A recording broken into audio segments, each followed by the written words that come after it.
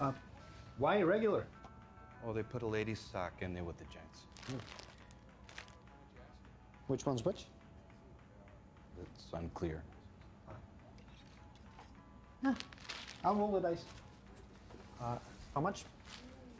You tell me. Say again? The sign says best offer. What are you offering?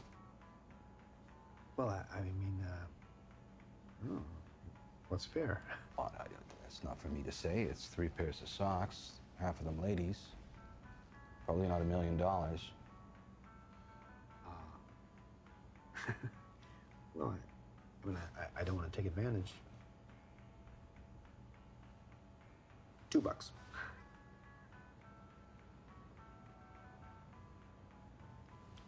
Or if that's uh,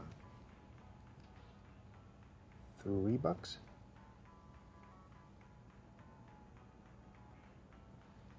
Five. Tell you what, you give me $55, I'll give you the socks, and throw in this 12 gauge.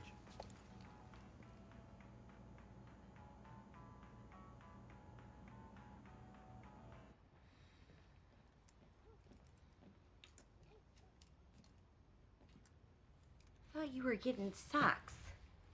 In the bag. What the heck are you gonna do with that? It's for protection. Just be careful you don't blow your own face off. Not loaded, is it? Well, if anyone could shoot themselves in the face with an unloaded firearm, it's you.